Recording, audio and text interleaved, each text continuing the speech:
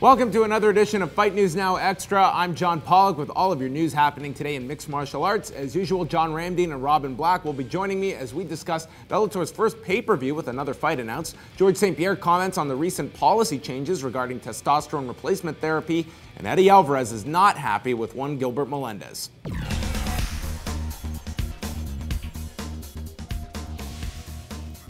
Bellator lightweight champion Eddie Alvarez recently commented on Gilbert Melendez re-signing with the UFC after an offer was made in principle by Bellator.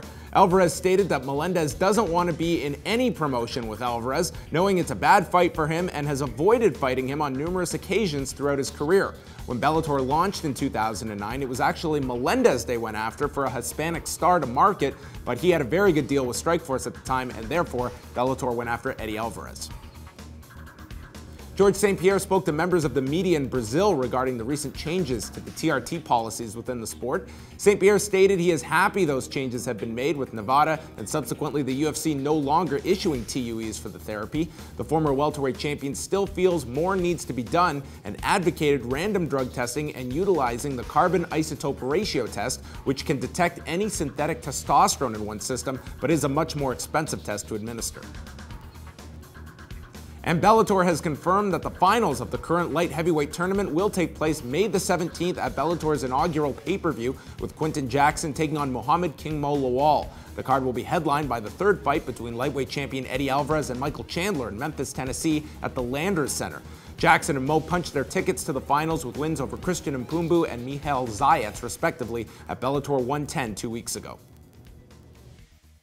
And I am here with John Ramdeen and Robin Black as we get set for UFC 171. It is coming up Saturday, but also uh, a lot of anger from one Bellator lightweight champion Eddie Alvarez. He is he is pissed that he is not fighting Gilbert Melendez in the near future. He feels that a pattern throughout Gilbert Melendez's career has been avoiding Eddie Alvarez. And I'm sorry, you put that contract in front of any fighter. I feel Gilbert Melendez with one of the great contracts in lightweight, yeah. maybe MMA history. Yeah. yeah, I mean, so, so let me get this straight: that Gilbert Melendez is ducking Eddie Alvarez but he's willing to take on Anthony Pettis. That he's afraid of Eddie Alvarez, but he's not afraid of Anthony Pettis. It makes absolutely no sense. Gilbert Melendez is just a smart, smart businessman. Before people in the UFC even heard of this guy, he was fighting on CBS with his buddy Jake Shields. It's all been it's been all about the business for Gilbert Melendez. He's very intelligent, knows how to play the game. The best contract for, for Gilbert was in the Ultimate Fighting Championship. I gotta disagree, man. If I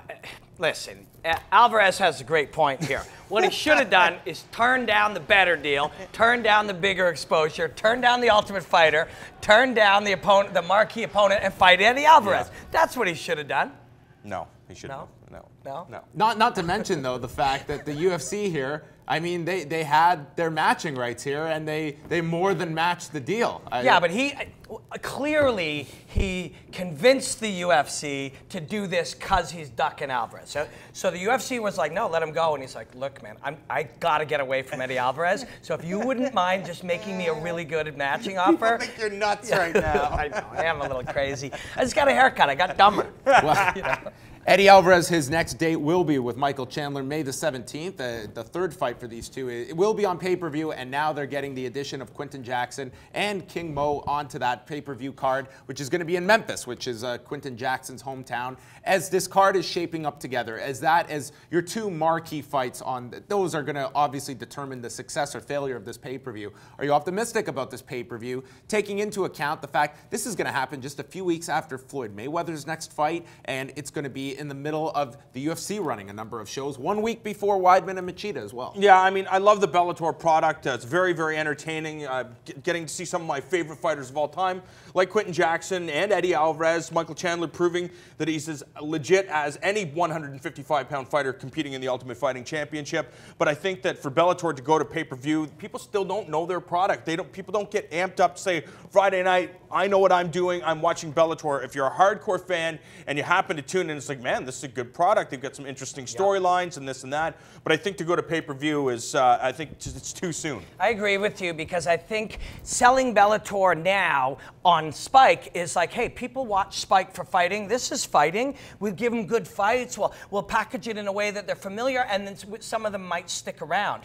But uh, to do pay per view, you have to literally go out, grab them, and, and get them to say, I'm going to spend Yeah. 39, 49, whatever their thing is, of my money and select this entertainment option over every other option in the world. That's very, very different. I don't know if they're going to be able to pull it off. I'm sure there'll be some great fights. I'm sure we're going to enjoy Yeah. it. We'll throw a little party here at the Fight Network for our friends. Do you think it's worth the risk that at least here we do have a card? This is probably the best marquee card we can put together. Let's at least try. Let's at least see what is the appetite out there. And they might lose their ass on this pay per view, but do you think that they at least need to take that step? Or with the Viacom deal, do they need to take this risk? I don't know, man. Like, I, I don't think. I mean, a- a lot of the times, even if you're educated and even if you spend your time analyzing these things, we're just still missing so many pieces of information. But it feels like, you know, you would never take this risk if you didn't have money to burn. And that, just because you have money to burn doesn't mean you should burn it, you know? I think they're doing well on television. They have a television product. But,